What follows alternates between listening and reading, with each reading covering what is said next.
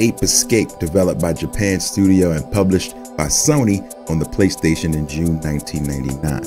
The first in the series, this game tells the story of an ape named Spectre who gains enhanced intelligence and a malevolent streak through the use of an experimental helmet. Spectre produces an army of apes, which he sends through time in an attempt to rewrite history. The controls are heavily centered around the analog sticks. It's the very first game to require the use of the PlayStation DualShock. The game's music was composed by Soichi Terada. After a game director heard Terada's track Sumo Jungle, he hit him up to compose the music for Ape Escape.